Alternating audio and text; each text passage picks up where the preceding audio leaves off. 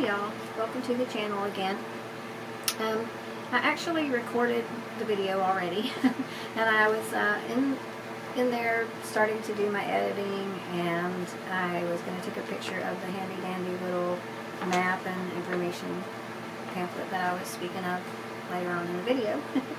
and I decided that I, I didn't hit on a lot of the attractions there in Sitka and I think it's really important to go ahead and tell you guys about several of the places in Sitka that you can go to. Um, I know a lot of people are real history buffs, and as I stated in the video a little bit later on, I'm not a huge history um, person. I don't I don't really feel comfortable talking about a lot of um, history on my tours because, like I said, I get people from all over the world on tours, and sometimes if you talk about um, battles between this nationality and that nationality. You may have, you know, some of each nationality on the boat, and they may not appreciate you talking about one nationality against the other. And I just don't feel like that's something that I feel comfortable doing. So I don't do a lot of history on my tours. Um, I do know a lot of history of places where I am, just in case someone has a question, you know, ask me something about something to do with with history of wherever I'm at. I do learn a lot of that, but I don't incorporate it a lot into my um, my tours. I just don't. I think if people are the majority of people, if they're on a wildlife tour or wildlife quest looking for wildlife, I think they want to hear more about the wildlife and, and things like that. And there are history tours that you can take.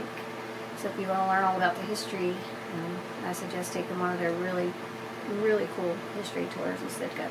Sitka is full of history, as I said um, later on in the video. this is, you're to feel like you went back in time. You're to feel like you're on Back to the Future or something, because this was a, a, last moment thought. Um, so I'm going to, I'm just going to kind of read over it and tell you some of the really cool places that you can go, some of the historic places and attractions there. They're also called the, um, the Sitka Sound Science Center, the Sitka Sea Life Center. That's not right. So later on in the video, when you hear me say Sitka Sea Life Center, just scratch that and put Sitka Sound Science Center. the Sitka Sea, or the Sea Life Center is in Seward. It's the Seward Sea Life Center, so you know, got it mixed up there. but, you know, oh well.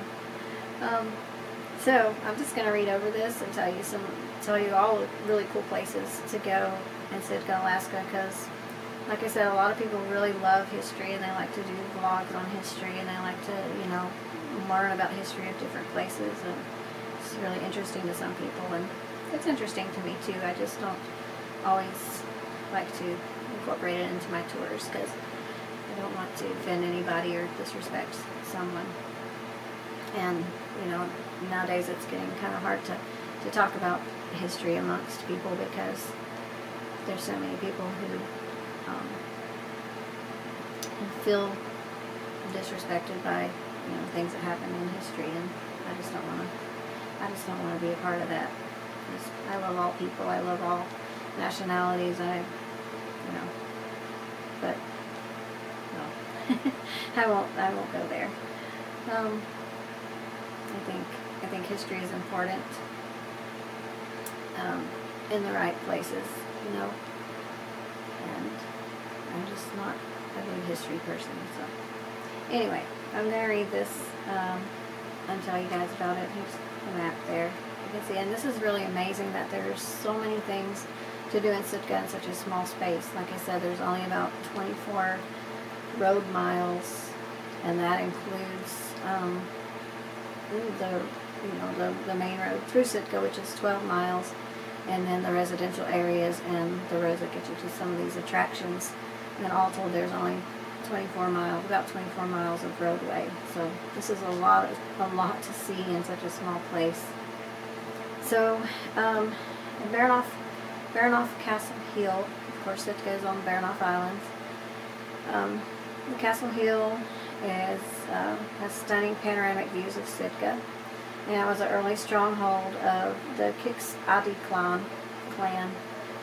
Later, and I probably won't pronounce all these native names right, um, because I just hard to pronounce a lot of these things.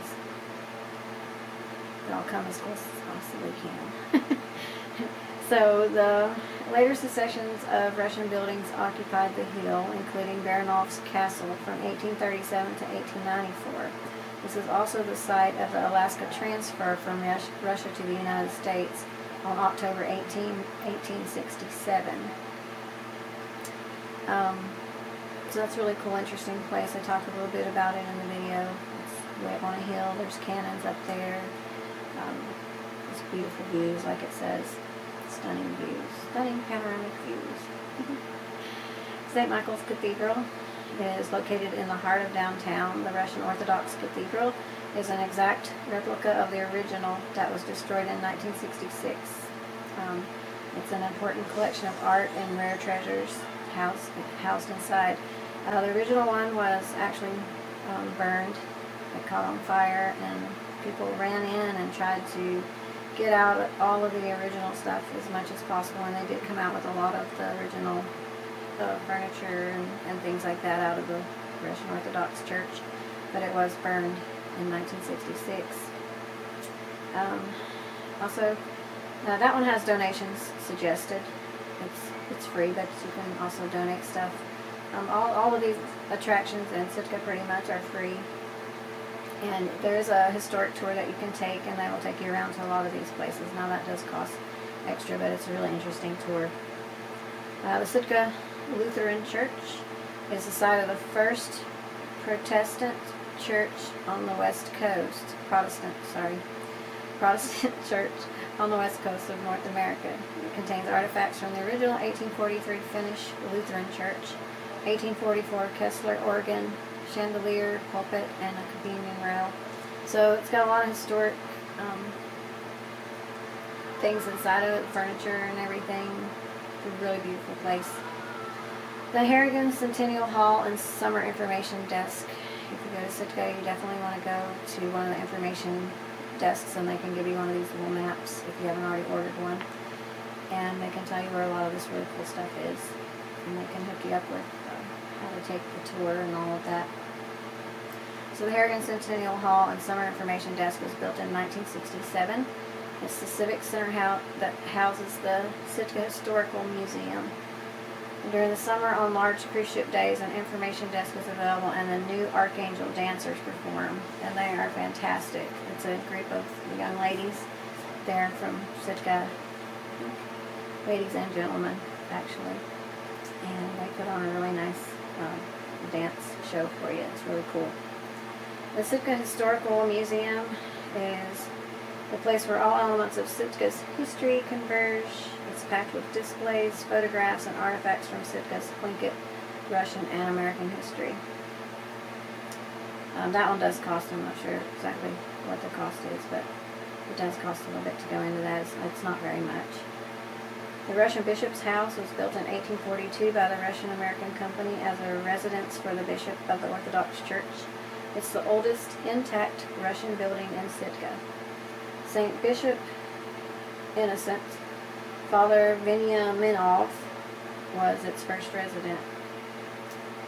St. Peter's by the Sea Episcopal Church, made of natural stone and wood. This is the oldest standing church in Sitka with a unique stained glass rose window. It's very beautiful. The first service was held in 1899. There's Sitka Sound, Sitka Sound Science Center. and it is an experience. It says experience the amazing diversity of the many creatures that thrive in our surrounding waters at the aquarium, wet lab, and on-site fish hatchery. And that one does cost too, but it's only forget what it is. Maybe a little more now too. I'm not sure, but anyway, I'm not going to quote any prices because I don't want to be held accountable for that. you can you can go online and Google this stuff and find out what it costs and everything, the hours, all that kind of stuff.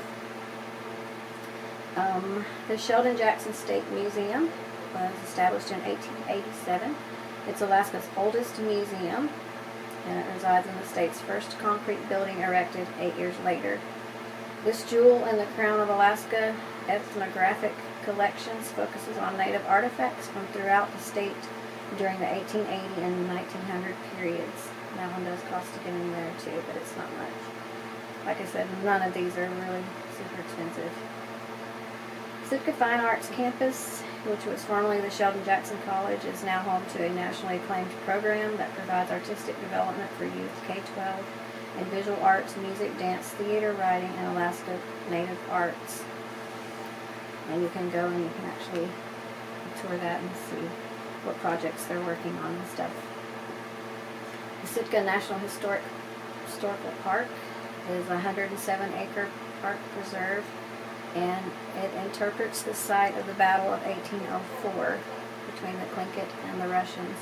The Haida Tlingit totems from the Louisiana Exposition in the early 1900s as well as modernly carved poles are located along a gravel pathway that meanders through the rainforest and it goes along a river and it's just a beautiful, beautiful place. They have hiking trails, like it says, they have trails you can walk on.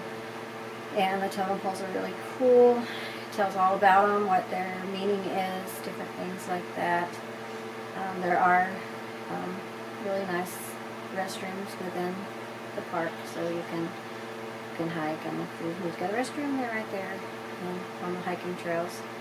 Um, really cool tide pool there that you can walk down to and, and kind of look in there. I kind of went over this one a little bit in the video, which you'll see a little later once you like jump through time and you get there.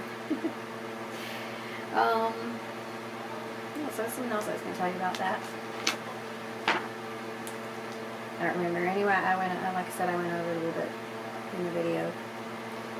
Um, the Alaska Raptor Center is a pioneering wildlife project which offers close-up encounters with bald eagles and other birds of prey.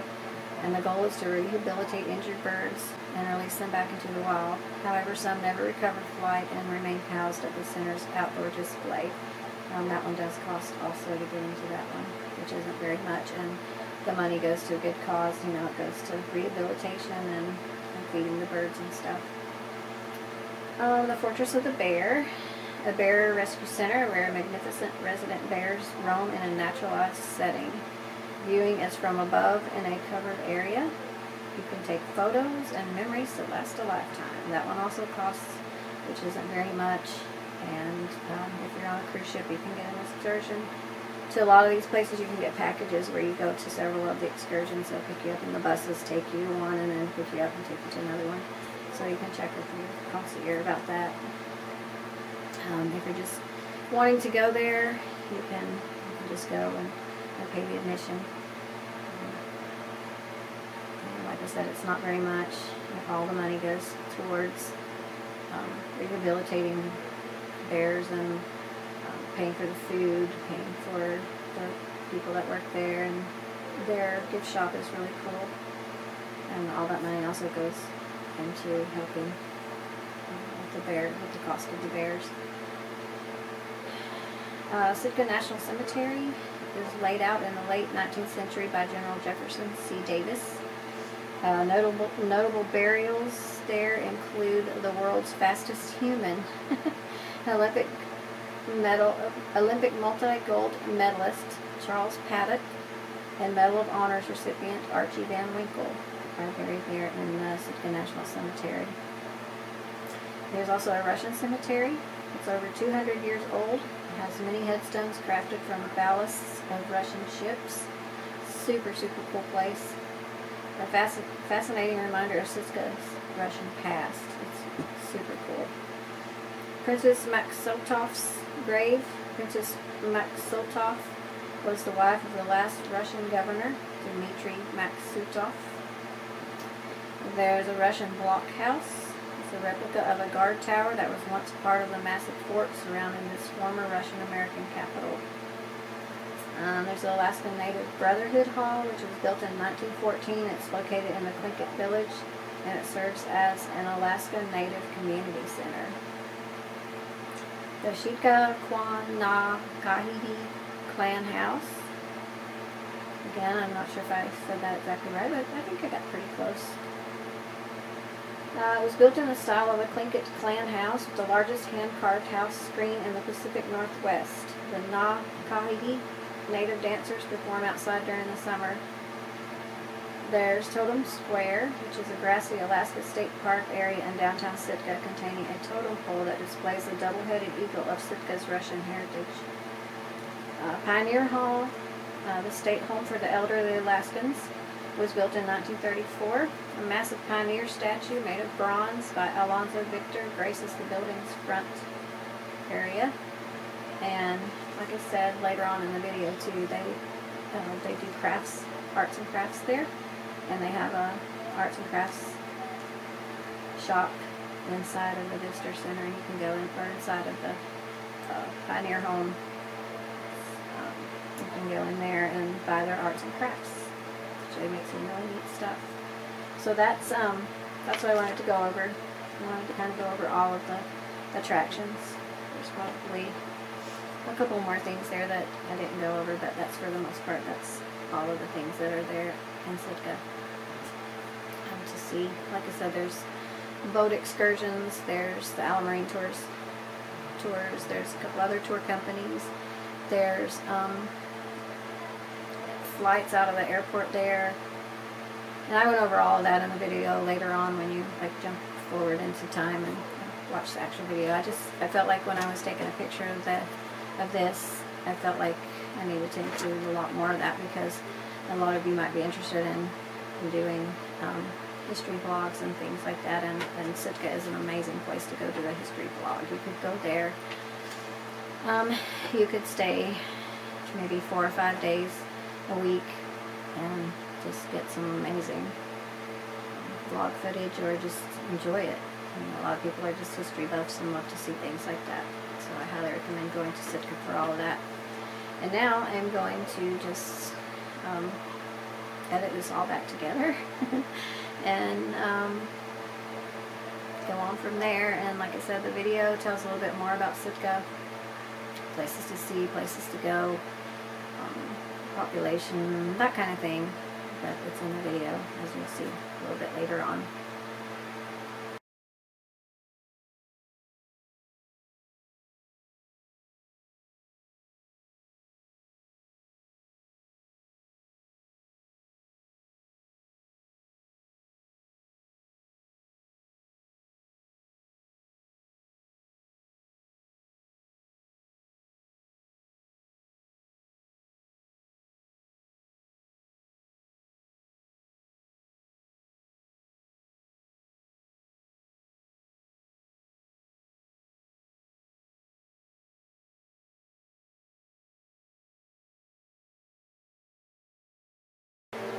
Y'all, welcome to the channel again.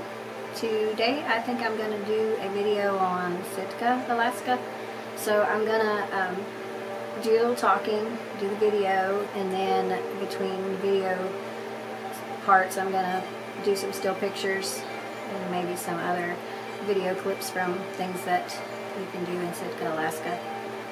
Um, so Sitka, Alaska is a very beautiful place. It's probably one of my favorite places in Alaska. I know I um, always say this is my favorite place or that's my favorite place or so on and so on, but actually Sitka is one of my favorite places in Alaska. Uh, Valdez being my first favorite. The ride, the drive over to Valdez, like I said the other day, is, uh, is very beautiful. That's my favorite place in Alaska, I think. but Sitka is very close up there. It's way up there on the top of the list of favorite places. Um, so Sitka, Alaska is actually an island, and it's on, well, it's on an island. It's on the Baranof Island. And it is part of the Tongass National Forest, which is the largest forest in the United States. Um, I'm going to do a whole separate video on the Tongass National Forest because there are a lot of things I want to talk about in the Tongass National Forest. So I'll wait and do another video on the Tongass National Forest. But it is 17 million acres. Um, so it, it is a whole video worthy. There's so much to talk about in the Tongass National Forest. So that one will come along a little bit later on. Uh, but as far as Sitka goes, uh, very beautiful place. Uh, if you ever get a chance to go to the southeast section of Alaska, I would definitely uh, visit Sitka. For the other islands down there is Ketchikan, and then also the state capital of Alaska is an island, um, Juneau. Uh, is only accessible by plane or boat or the ferry. You take the ferry. And on the last video, if you haven't watched my video prior to this one, I told a lot about traveling to Alaska, how to get there and everything like that, and I talked a little bit about the ferry. I'm also going to do another video a little bit later on about just about the ferry. Uh, with some of the, the views and different things that you see from the ferry and uh, a little bit more in depth on how to actually take the ferry to Alaska. Um, so Sitka is um, on the the tour, the, the cruise ship tour port list, I guess you'd say. They do go into port there in Sitka, Alaska. Lots and lots of um, vessels each year go into Sitka there. Um, and there's lots of excursions and things like that to do in, in Sitka, and that's kind of what I'm going to cover also is some of the excursions, some of the attractions there on Sitka. Um, to be such a, a small area uh, of actual city of Sitka. Now the the city limits of Sitka is um, it's huge. It's um, only 12 miles or 13 miles from one end of Sitka City to the other end of the city, and um, there's about 20, 26 or 27 total road miles. That includes all the little uh, rural community roads and everything also.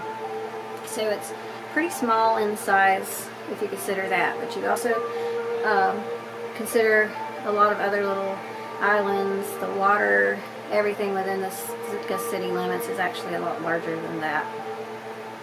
And I'll cover that when I talk about the more about the Tongass National Forest. Um, now, when I worked in Sitka, I was on the uh, Sea Otter and Wildlife Quest tour through Allen Marine Tours.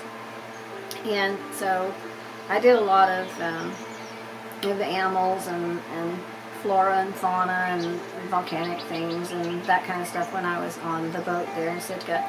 There were a lot of uh, other people that knew a lot of the history of Sitka and uh, it was very interesting, Sitka. Before it was, was called Sitka, it was actually known as New Archangel by the Russians from about 1799 to 1867. I have to read some of my history because I kind of need to brush up on it a little bit um, if I ever go back and work again. But like I said, my tours, I'm a naturalist and I know all about animals. I know about uh, all sorts of nature things, and that's basically what my what my tour was based on was um, was that kind of thing. But there were other naturalists and other um, history people there who knew a lot about it and they told a lot about the history of Sitka. And like I said, it's very interesting. But I'm not a real history person. I don't do a whole lot of history because a lot of times when you're on a on a tour and you're with people from all over the world, you know, you have to be kind of careful about what you say about history and things like that these days. And um, you don't want to insult anybody or disrespect somebody who sees history as something different than, you know, than what you see it as or or what you express it as. So I try to stay away from a lot of history about different places when I'm doing tours. That's why I like to do wildlife cruises, wildlife tours, because that I know about, and uh, yeah, it's, it's not going to really upset anybody, I don't think. Hopefully not anyway, but I just feel like history sometimes causes a little bit of problems with people. And it really shouldn't, because it is part, it is history, but a lot of people take history really personally, and that's okay. I can understand that. Um, so, I'm not going to do a lot of history on here of Sitka. You can research Sitka and you learn all about the history of Sitka. It's very, very interesting. There's a lot of battles fought there in uh, Sitka among the, the Japanese and uh, the Russians, Americans, all, you know, war and things like that, battles. So there's a lot of that type of history. There's a actually a fort that an old fort that you can walk up to. It was like a where they had a lot of their cannons and things like that. The cannons are all still up there, and it's it's round, and they could actually shoot from any direction up there on top of, the, where the fort was. So that's something interesting to see through there. If you really like history, there's a lot of history there. There's a lot of Russian history there.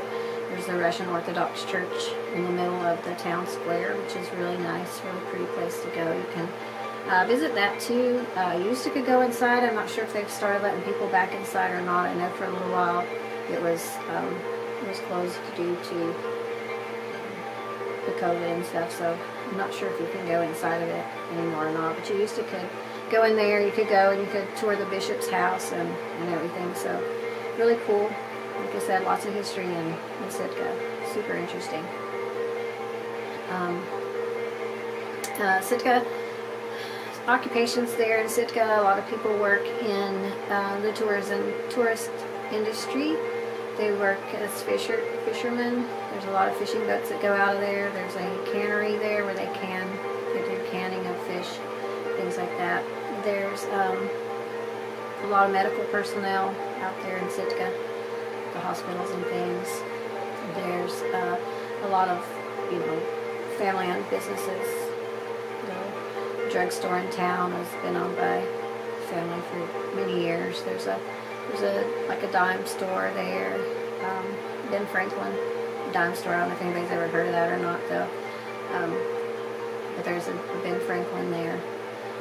There's um, a lot of souvenir shops that are owned by people. There's a bookstore. There's a little uh, there's little pubs and taverns and places where the fishermen go, which is really interesting if you're you know a fisherman buff or something, you can go in some of those places and you can actually talk to some of the some of the fishermen that have been doing it for all these years, and they can tell you some really cool stories and stuff.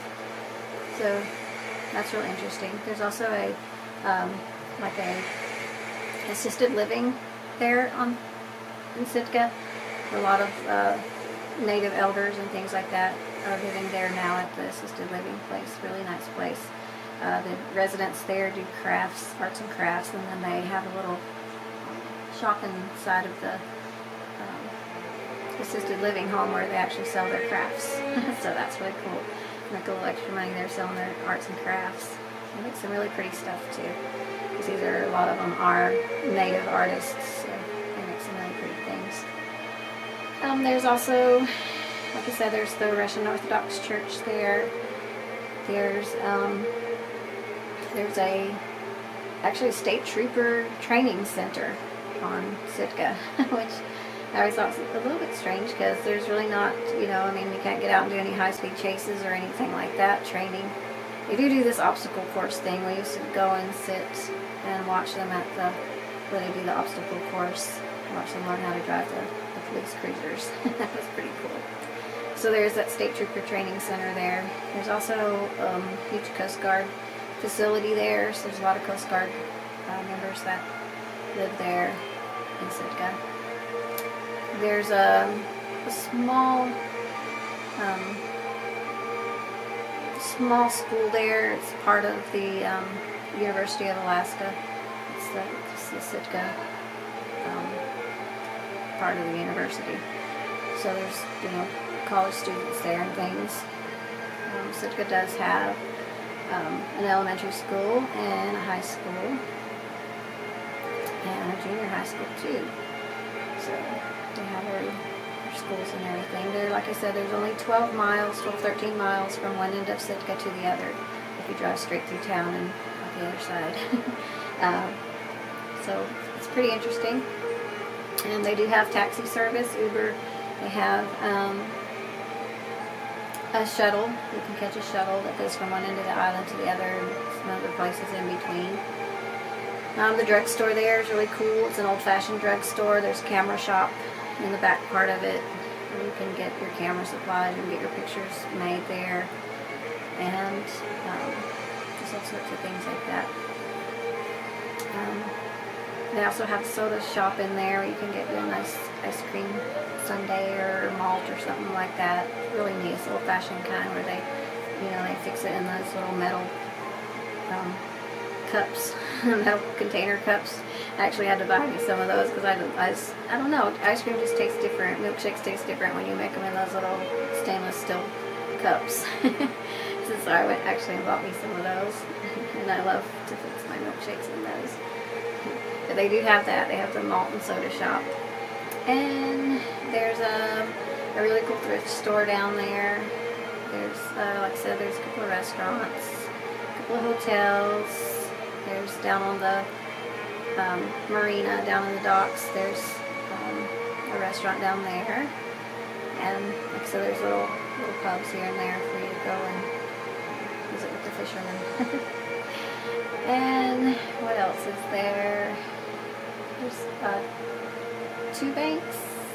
You go to bank and a credit union, I believe. There's a really nice library in Sitka. Super nice. I love it. It's you can sit in the library and read your books and look out. They have big bay windows and they have seats all in front of them and you can look out through there and you can see um, bald eagles.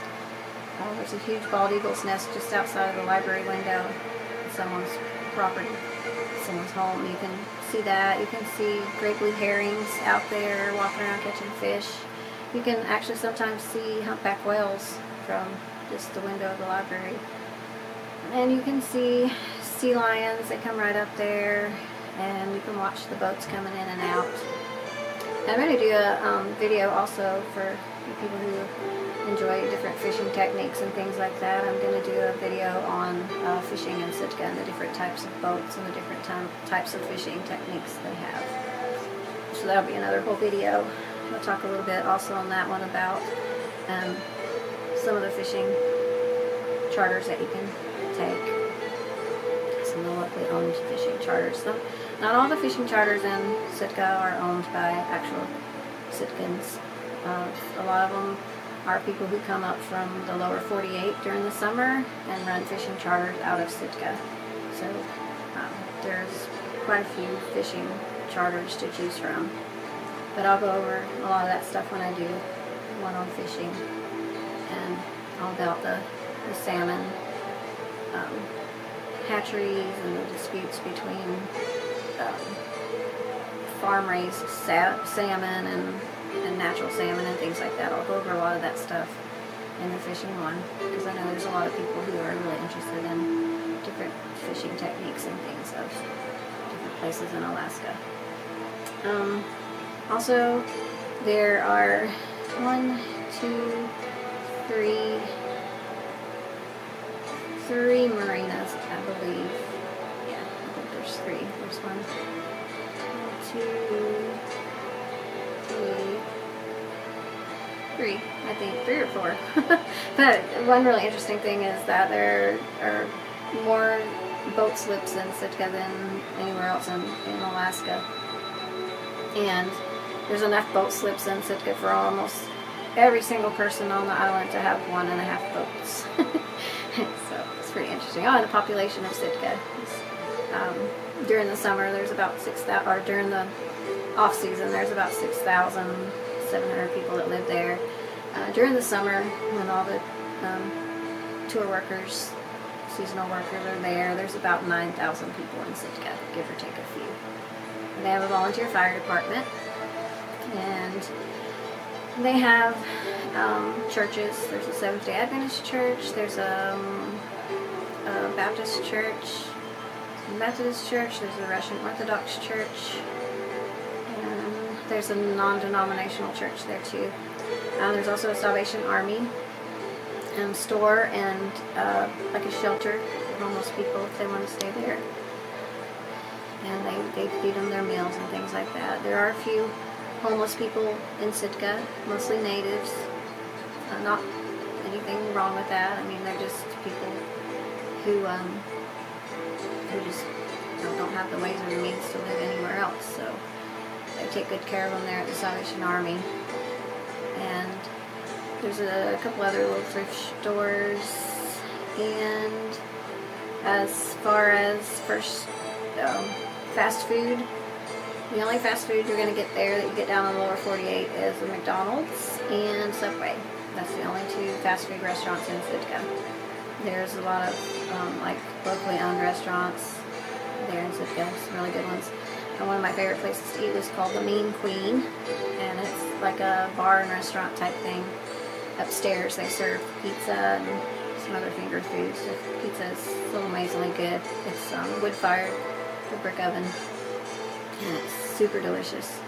I highly recommend eating there. You eat there and you are upstairs. You're in the second story, so you can actually look out over the, the bay there and you can see the inlet. You can see Humpback whales right out the window. It's just seeing all the boats coming in and going out. It's so, so interesting. Um, but that's that's probably my favorite place to eat there um, the Mean Queen.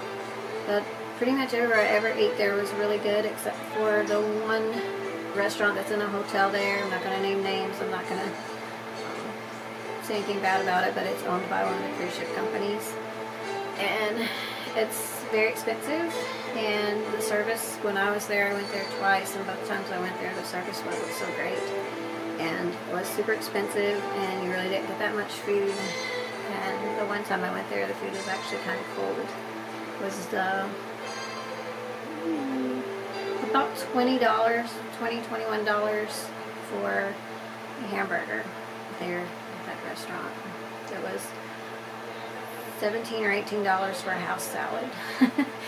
so, uh, unless you really like to spend a lot of money somewhere, I wouldn't recommend going there. But uh, like I said, I'm not going to name names.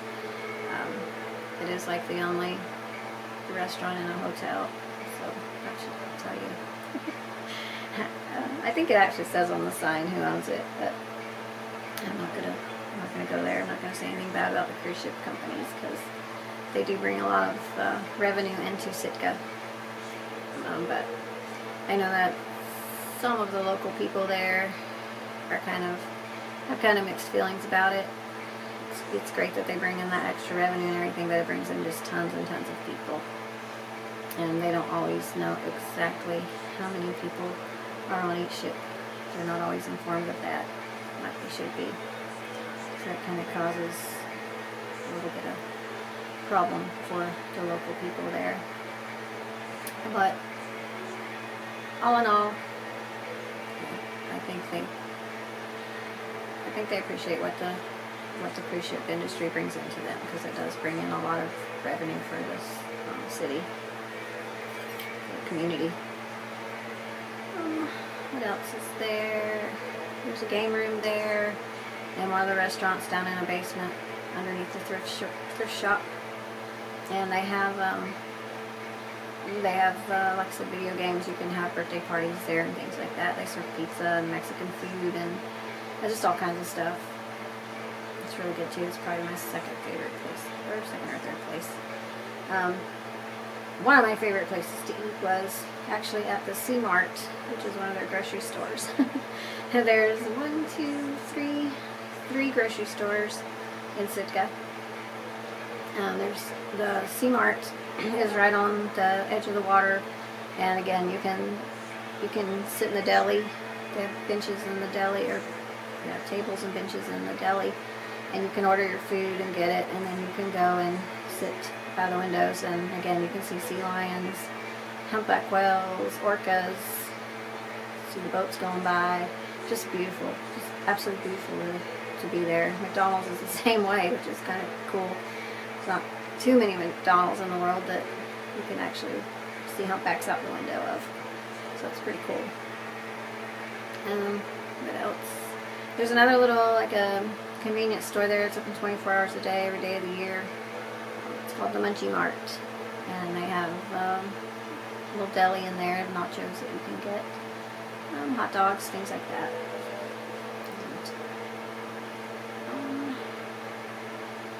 There's two veterinarians on the island. We have pets.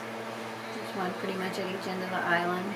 There's three campgrounds.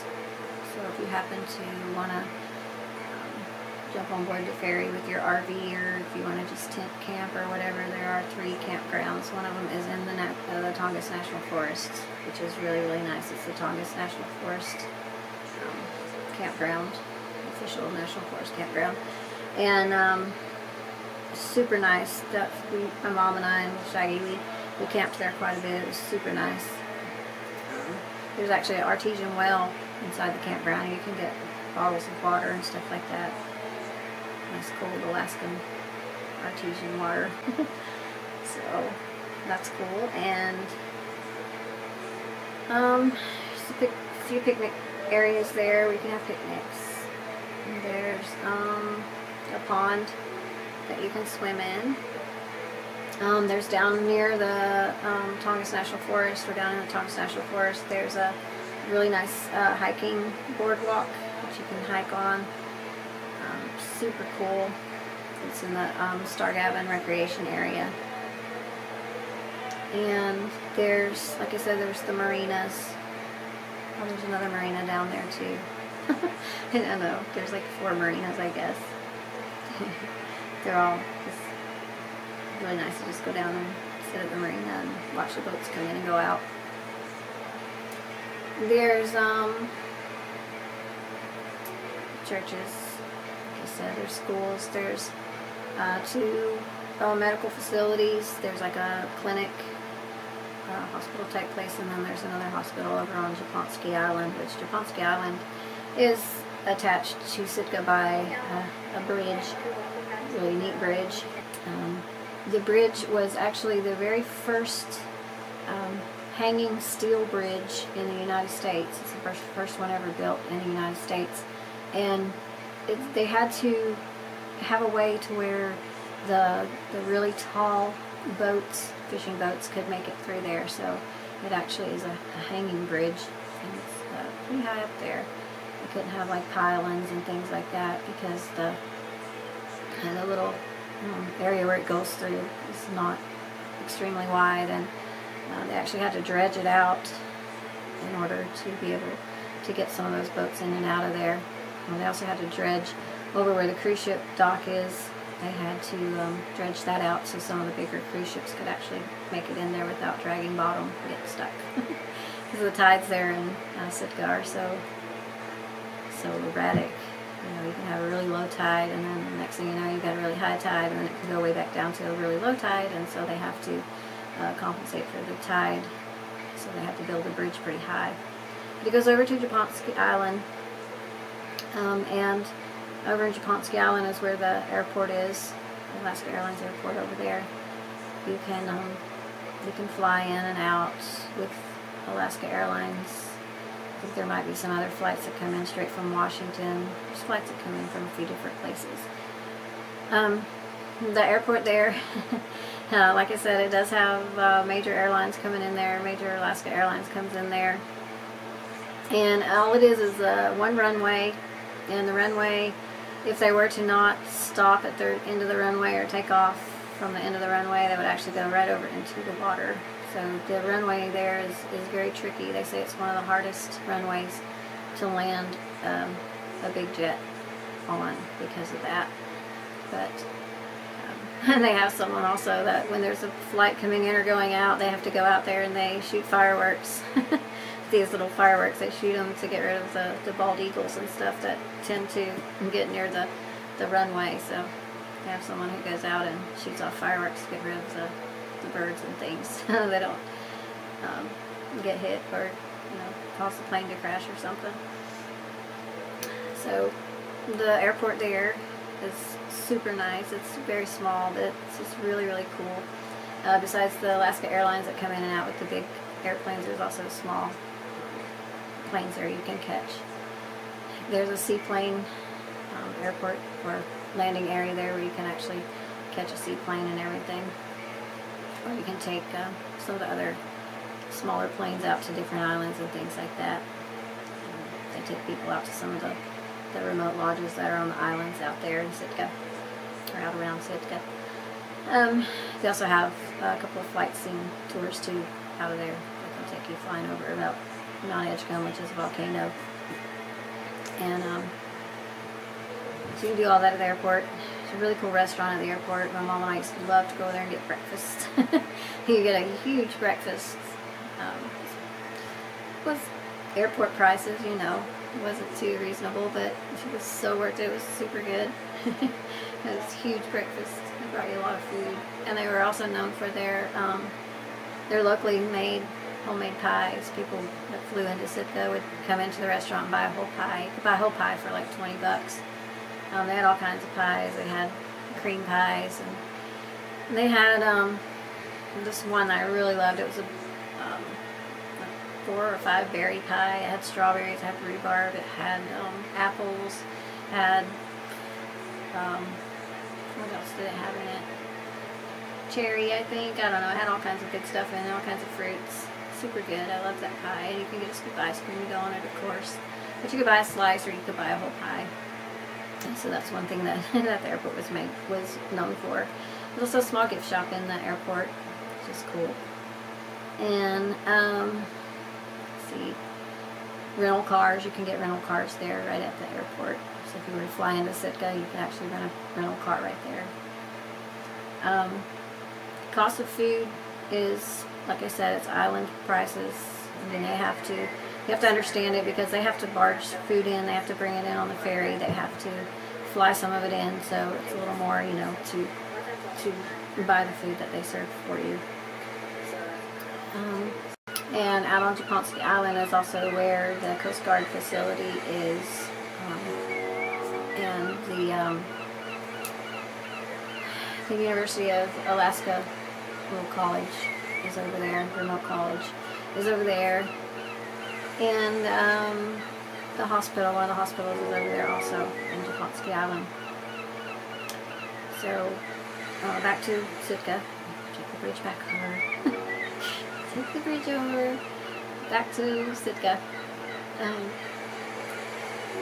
they have the some of the attractions that they have are the um, Alaska Raptor Center, Sitka Alaska Sitka Raptor Center. Anyway, they have a Raptor Center there. It's where they get birds in from all over the state. A lot of bald eagles, um, hawks, owls, whatever, all kinds of birds, seabirds, shorebirds. And they get them in from all over the state just about. They fly them into Sitka and they rehab them and release them back into the wild. If they're able to go back into the wild. They do have some birds there that will be there for the rest of their lives because they got injured or, or whatever and they can't go back out into the wild. Um, it's pretty cool. If you're from the Smoky Mountains and you know Dollywood, you know that Dolly also has eagles there in her eagle preserve there. Actually, one of those uh, eagles at Dollywood is from the Sitka Raptor Center. They sent it all the way down to Dollywood a few years ago, several years ago. So one of the, the Dollywood is actually from Sitka, Alaska, which is pretty interesting. but you can go there, they do tours, or you can just walk around and look at the birds yourself. And they have the um, the workers there showing you the birds and telling you about them and everything. It's a pretty cool place. There's a walking trail, hiking trail. You can go back into the woods and see see birds in the wild, and it's really beautiful back in there. It goes down into um, creek. Wade in the creek and everything. Super pretty back there. So there's the Alaska or the Alaska Raptor Center. And there's also the um, Sitka, or not Sitka, yeah, Sitka. I'm thinking Seward now, I'm in Sitka. Sitka Sea Life Center there. And they have just all kinds of hands-on, stick your hands in the water, touch the anemones and, and cucumbers, sea cucumbers and things like that. You stick your water right into the water tanks there you can touch the, the fish and everything. At least you could. When I was there, they may have changed that too because of COVID. And they have, you know, just um, um, sea life that's in the area, in the tanks. And they also have a tide pool tour that you can go on, and they'll take you out to a tide pool and you'll kind of look around the tide pool and see all kinds of cool things are in there. And also raise some fish, some um, salmon there and stuff. It's like a little fish hatchery too. Really nice place to go. Very enjoyable. Um, there's also the um, the Totem Pole Park, which is a park. Um, walking trails through the woods, beautiful woods, part of the, the forest. And um, there's totem poles, um, historic totem poles. They're in the park, really pretty. There's also a museum, the Tlingit Museum, which tells about the history of the native people there in Sitka. It's a really neat um, museum, and there's also like a art uh, working area there where the totem pole artists will actually be working on some of the totem poles sometimes, uh, creating new to uh, totem poles. And you can watch them work. It's really neat. And there's also a tide pool there that you can go out and explore, look around and see what's been washed in with the tides. So cool. I love tide pools. we should do a whole video on just tide pools. and then, um, then there's the um, oh, what's the name of it? The Fortress of the Bears. Fortress of the Bears is a place where they turned a water treatment facility. They took the big, um, like, cement water, where all the water used to be, and they filtered it and all that stuff. It's in a water treatment place, old water treatment place. And they've turned it into a, a bear sanctuary for some rescue bears. And it's a very fun place. You can go up on a bridge and you can stand on the bridge and you can watch the bears down in the water. And I'll put a, a few pictures on here of that. Um, but the Fortress of the Bears is an amazing place to go. Very good facility. They um, they teach the bears. They've taught the bears how to paint. you can watch them paint. Um, so yeah, these are huge, huge uh, coastal brown bears that they have. They also have a couple little Kodiak bears too. They did when I was there. They were new. And they're black bears. And it's just a really neat place to go. It's one of the, all of these attractions you can actually take as excursions off of your cruise ships. So if you're ever there on a cruise ship, you can go to any of those places. And that's where the handy dandy little souvenir booklets come in and you can get a hold of the Sitka Visitor Center, Sitka Chamber of Commerce or whatever and I request one of these, and they're really nice. They're, they have coupons and things like that in there. They tell you all about the attractions. They have maps, all sorts of things. So these, like I said, these are super, super good for when you're wanting to try and figure out where you want to go in Alaska. Just get a hold of some of the Chamber of Commerce or visitor centers and have them send you a travel guide. And they don't cost anything. So I highly recommend getting these. Um, also, inside of it was um, another little another little map, and also all the attractions that are in Sitka. So it's got everything you need to know there. It's got a downtown map of Sitka. It tells you everything that's there. I'll take a picture of the front and the back of this and put it on uh, between recordings. Um, what else? The Fortress of the Bears, like I said, is a really cool place to go. There's also a place at one of the marinas there where you can go and it's where they do all their net repair for their fishing boats and you can actually go there and watch the, the fishermen repairing their nets which to me it was really interesting to other people it might be uh, but to me it was interesting. It was really cool to watch them with these gigantic nets um, fixing them fixing them if they had holes in them and stuff like that. Putting new weights and things on them so that's a really cool place to go if you're into that kind of thing. Um, let's see. Marks, grocery store, campgrounds. Um, Marine Tours. Like I said, if you're on a cruise ship and you get a chance to book Allen Marine Tours, I highly, highly recommend the Marine Tours. There's several different uh, tours that they do. They have a Zodiac, which is a big rubber raft, and you can take the Zodiac tours. Um, it takes you out to um, the new island that they built out there. Go out there and um, it's called Fin Island. And the year I was there, they had just built it and they just started using it the year I was there. And I was lucky enough to be on the boat that um, took people out there. They have several different boats. Some of them are really big boats, double deckers, and uh, they also have some smaller boats. Like I said, they have the Zodiac and then they have the smaller boat just small catamaran, and that's the one I was on. We did beach landings and, and things like that. It's a lot of fun. But they took you out to Fin Island, which is their, their own personal island. Beautiful place. Absolutely beautiful. You can walk along the shore. You can pick up um, shells and cool rocks and reefal sponges, different things like that. Really neat. And then you have your meal, which is absolutely amazing. They have this uh, prime rib, and they have this prime rib soup that they make. It's like a roast beef soup. Oh, was so good. But it's like a buffet kind of thing. You eat all you want. And they have king crab legs. They have crab legs like, I've never seen crab legs that big before, but they have king crab legs, prime rib, and all the fixings to go with it, and some amazing desserts also. Like I said, it's a day lodge. It's, um, it's on the island, it's a beautiful place to eat. Can eat indoors or you can eat outdoors out on the deck, and you can watch the sea otters and, and stuff right out there, and bald eagles that come right there close to the to the lodge. Very, very beautiful. I highly recommend if you get a chance to go there, do that. After you have your meal, if they have a bonfire going down by the by the beach or on the beach, you can go there and um, make s'mores. Have all kinds of s'mores to make. Can have Reese's peanut butter cups to go on your s'mores if you prefer. and uh, the, uh, the the guides and the hosts and things will actually help you um, make your s'mores. And the captain usually will come down to the captain of the boat and you can talk to the captain and it's really interesting. Um, the Zodiac also takes people out there to Fin Island. The Zodiac takes people out there and then the smaller boat also takes people. Uh, the tours are three hours.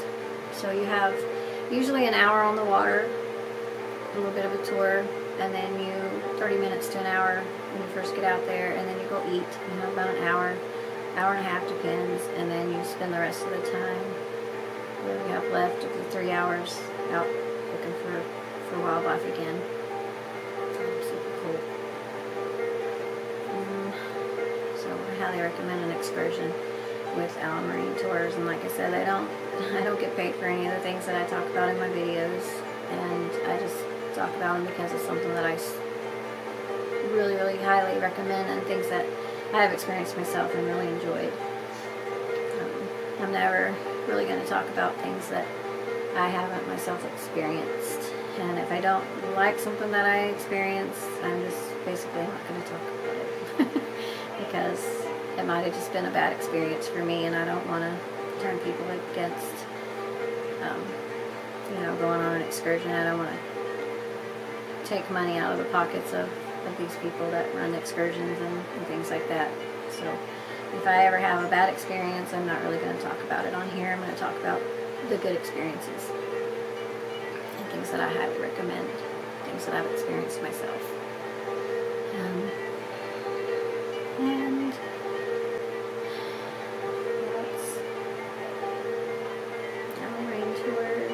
Other fishing um, tours or boat tours that you can take, like that our own small boats, private tours.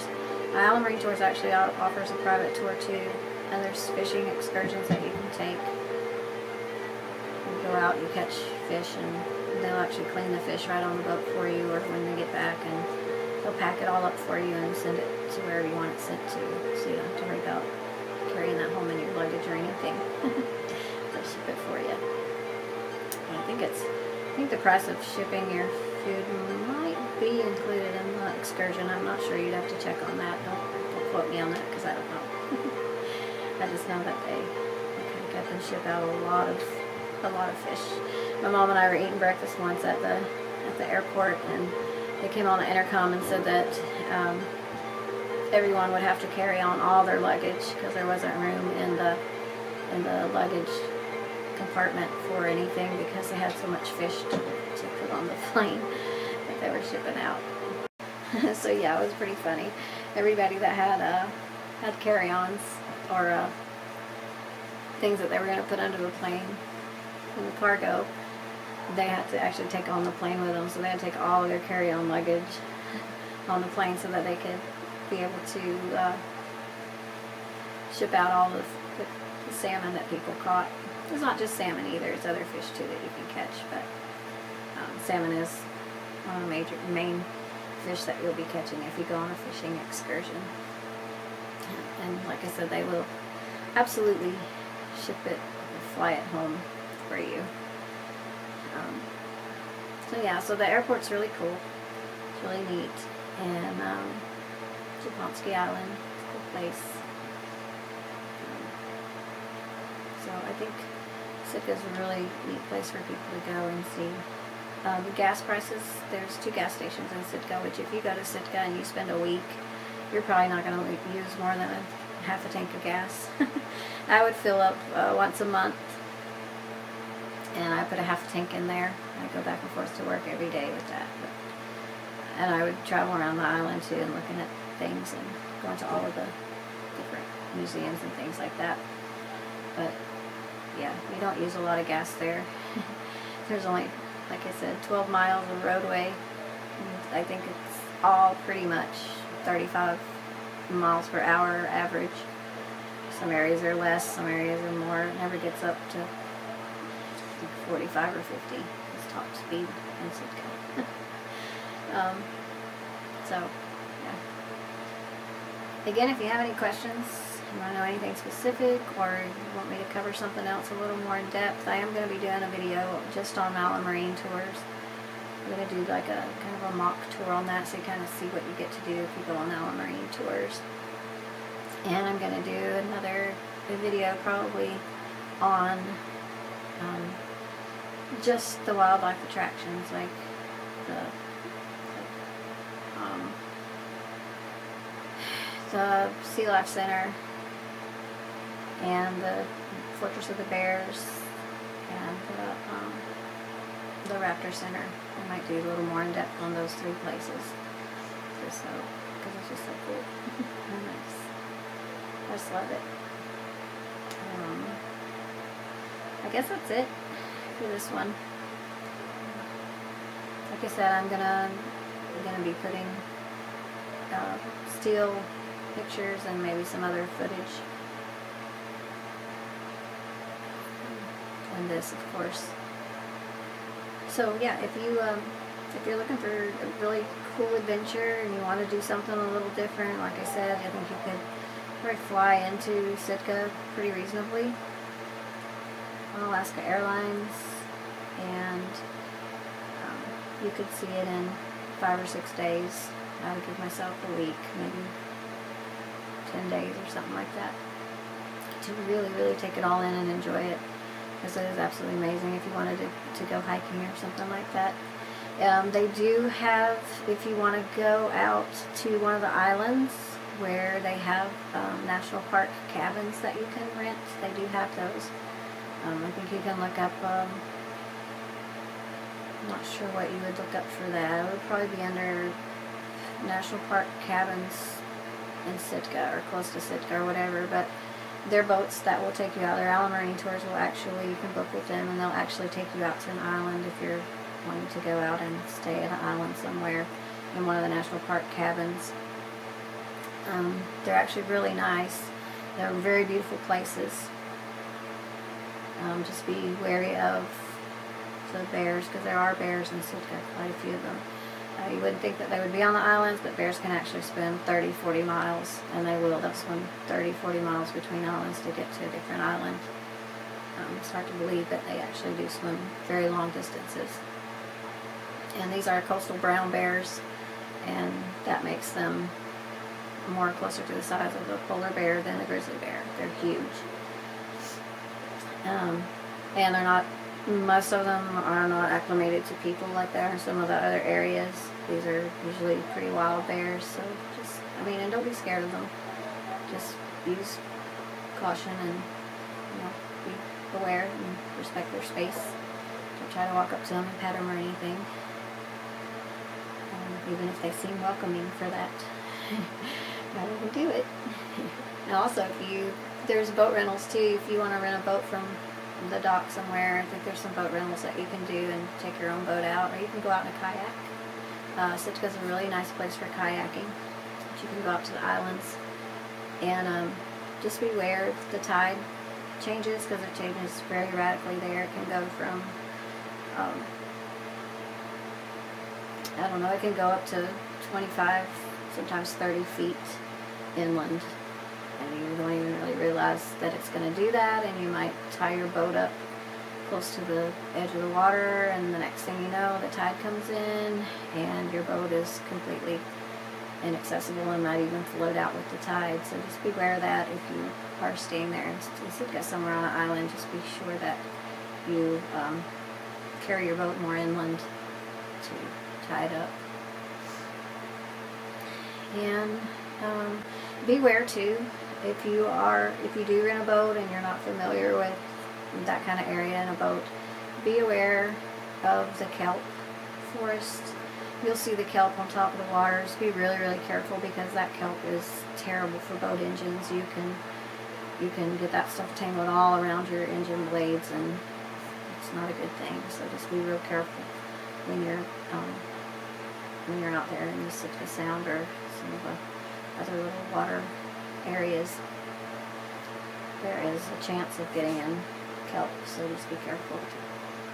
Um, so yeah, you can you can get out there and stay on the national park cabins. Out also the islands, there's also like um, hot springs that you can go out to and get in the hot springs.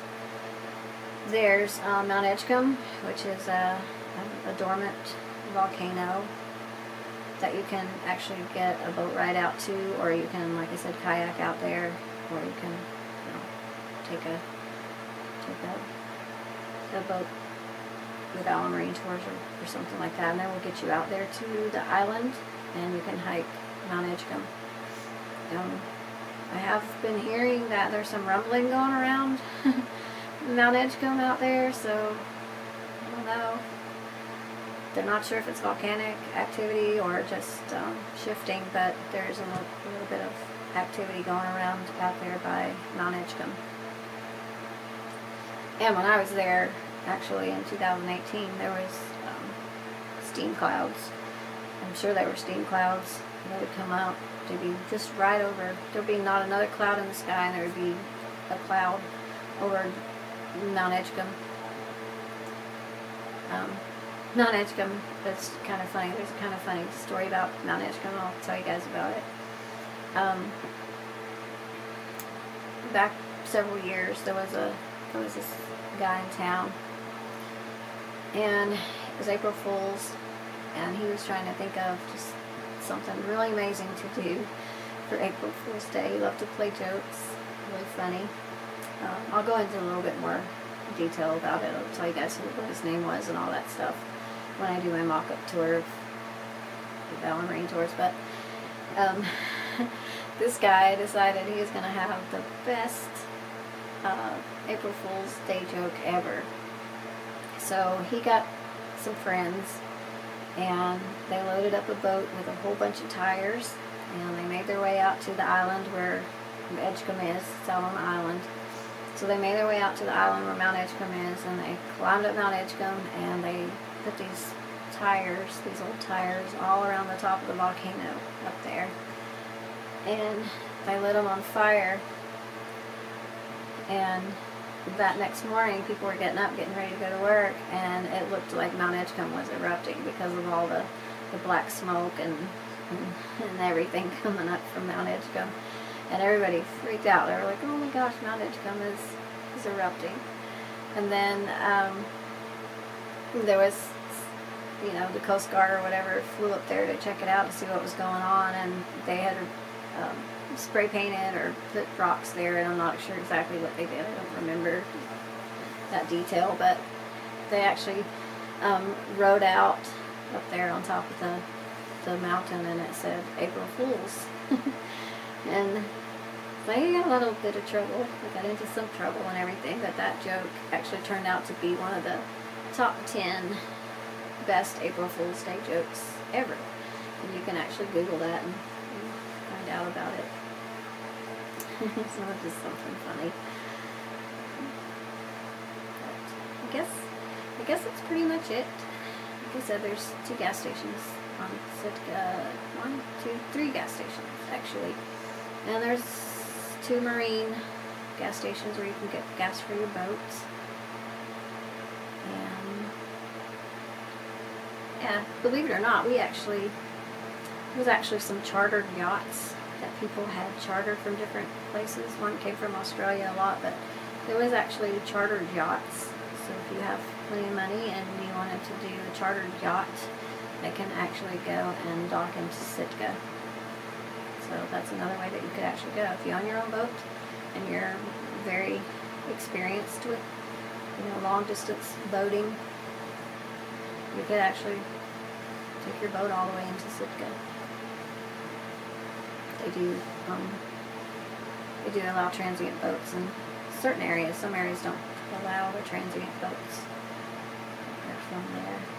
During the summer, it's really cool in Sitka because um, the Deadliest Catch. I watch the Deadliest Catch. I love the Deadliest Catch, but uh, a lot of the the crabbing boats they bring them into Sitka, and I'll go over this too when I do the fishing video. When I do the fishing video, a lot of the boats from the the crabbing show or the deadliest catch, the crab boats come into Sitka, and they they work as what's known as a tender. And basically, what they do is they go out to where the the big boats are out fishing for salmon, and they get out there and they find a good spot. They don't want to come back in, so the the tenders will go out and um, haul their boat, to haul their fish. They'll empty their fish into the tender, and they'll bring it back to the cannery, and they'll get the slip for the, the fishermen out there. They'll tell them whose whose uh, fish it is. They'll weigh it and everything, and then when they do decide to come in from wherever they are, they can just go straight to the tree and say, "Hey, um, I sent this many pounds of fish in, and this is my name and all of that, and their fish, their money will be there for the fish that they caught." So those tenders are really important for the fishermen that are way out there that don't want to come in every day and, and drop off their fish. But a lot of those tender boats are, like I said, they're the boats from uh, the actual show. So that's pretty neat to see in the summertime. Again, the National Geographic um, boat, tour boat, comes through Sitka. Fact, you can catch it there in Sitka, I believe. That's a really cool cruise that you could take to is through National Geographic. They have um, some really cool destinations with that National Geographic touring boat. It's cool if you don't want to do the traditional cruise.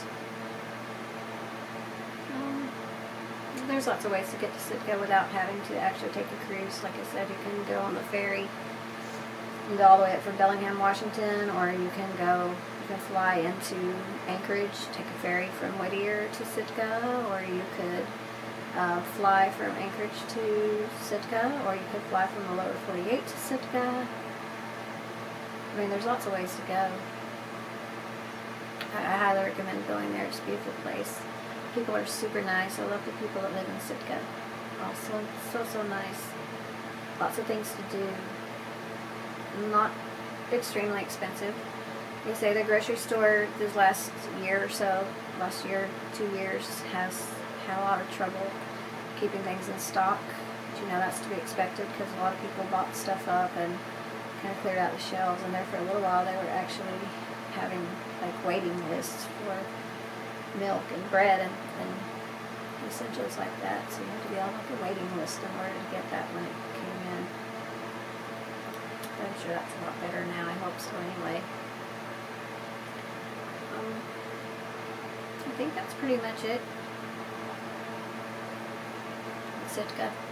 Like I said, if you have any questions or want to know something specific or you know, just have more questions or want some help figuring out how to get there and what to see and maybe itinerary or something like that, I can help you with that. Again, I don't I don't charge for that. It's just something I enjoy doing. I'd love for everyone in the world to get to see uh, Alaska. Sitka is one of those places that definitely need to go at some point. So I guess that's it. I hope you've enjoyed the video. I hope it's been informative. I hope uh, it's been fun to watch. And hope you have a blessed day, blessed night. And yeah, just stay safe out there, whatever you do, and enjoy yourself. Just respect nature, respect the earth. You know, do your part. Don't leave your trash. Don't carve on the trees. Don't spray paint anything. Don't don't carve anything. And just you know, take care of it like it was your property. Oh, some of you. some of you don't know about that. Just respect it. Take care of it. Enjoy it leave it the way you found it for the next person to enjoy. if you need to write on something, write on a guest book. You know, do some artwork on a guest book page or something. if you want the world to know you were there, you know, write it on a piece of paper and hold it up and say, I was here Sitka.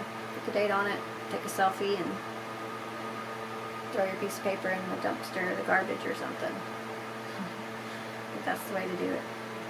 Don't make those little rock statues in the river because it can mess up the flow of the river and stuff.